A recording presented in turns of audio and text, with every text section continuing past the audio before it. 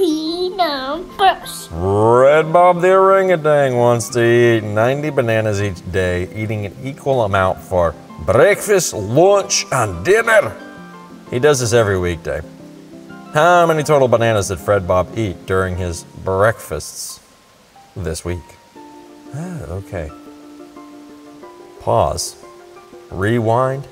Fast forward as you need to. You do not need to do a word problem at the same pace that I am. That's the wonder of video. You're going to learn at your pace. 90 bananas across three meals, having the same amount each meal.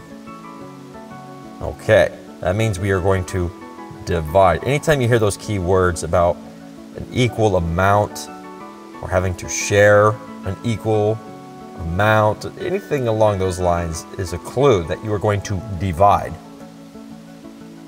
30 bananas for breakfast, 30 bananas for lunch, 30 bananas for dinner. That's 90 divided by 3. And if you really need to pause on that one, go for it. 9 divided by 3 is 3. That's where we are getting this answer from. So he has 30 bananas every weekday at breakfast. How many weekdays are there? Well, Monday, Tuesday, Wednesday, Thursday, Friday, five. He has five breakfasts this week. So he has five sets of 30 or what are you doing? You're multiplying. And that's just a shortcut for addition. It's 30 plus 30 plus 30 plus 30 plus 30. 5 times 30. Well, 5 sets of 3, that's 15. So 15 tens or 150. That's how many bananas he has during his breakfasts this week. Okay, those numbers are ridiculous. So let's do something even more ridiculous. Kay the chicken gets 500 socks every year on her odd numbered birthdays. She's 60 years old. How many socks does she have? That is a heaping amount of socks. Well, we have to assume that these socks never wear out. She keeps them even if they get old and threadbare. In any event, if she is 60 years old, how many odd numbers are we talking about between 1 and 60? Okay, well, let's think about this. The odd numbers are 1, 3, 5, 7, 9, 11, 13, 15, 17, 18, and it just keeps on going. You get where this is going, absolutely. I know you do. You're smart. Yep, that's right. They're going to be 30 even numbers. They're going to be 30 odd numbers as you march towards 60. All right, so we have 30 odd birthdays. That means there are 30 different instances where she got socks. And how many did she get? 500 socks on every odd numbered birthday. So the shortcut that we really did here is we said 60 divided by 2 is 30. Evens and odds are a pair. And that is the sneaky way that we did division here. You don't really have to technically do division here. You can just, again, count out all the odd numbers, but that takes too long. The shortcut is to say, okay, evens and odd numbers, how many do I have? Okay, divide, because they're a pair, divide 60 into two equal parts. Ah, 30. Bada bing, bada boom. Bob's your uncle. 500 socks every odd numbered birthday. That means 500 by 30, because she's had 30 odd numbered birthdays. Well, what's 5 by 3? Yeah, 15.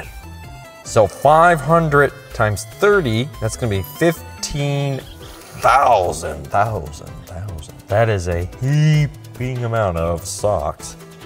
Kay has 15,000 socks.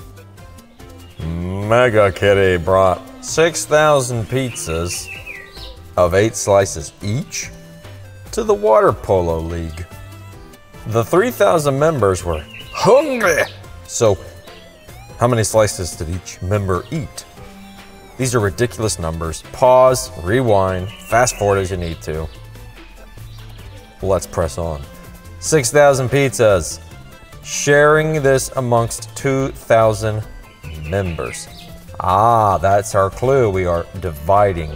And each pizza has eight slices, so we're going to multiply. We're going to do both operations. 6,000 divided by 3,000. This one's easy. What's 6 divided by 3? Uh, yeah, it's 2. 3 plus 3 is 6. So 6 divided by 3 is 2, or 6,000 divided by 3,000 is 2.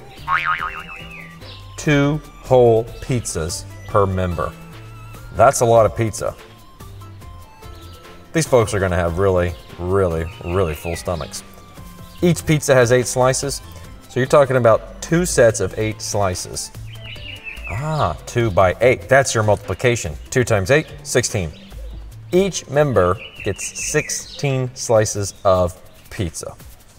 Mega Kitty should have brought the gator because that old greater gator always eats the bigger numbers. In fact, if you want a bigger, longer, more action packed episode, you need to join the Greater Gators class. There's a link below for your mom, dad, or Uncle Bob in Peru. See you next time. God bless.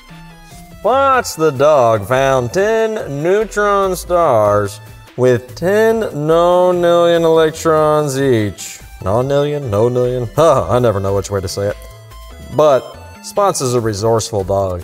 He was able to evenly divide the electrons into 20 large duffel bags. So how many electrons are in each bag? Well, Spots, if he has 10 neutron stars with 10 quadrillion, I mean, oh, excuse me, 10 nonillion electrons each, that means he's got 100 nonillion electrons. Wow. And he's going to divide that up into 20 large duffel bags. These are massive duffel bags, as you can imagine. Okay, well, 100 divided by 20, that's easy. That's five.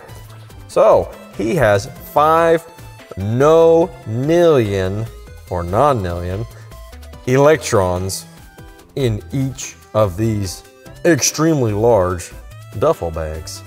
Numbers. Yar, welcome to the bonus section. Oh snap, Pirate Sam. He stole 5 million tokens of gold on the first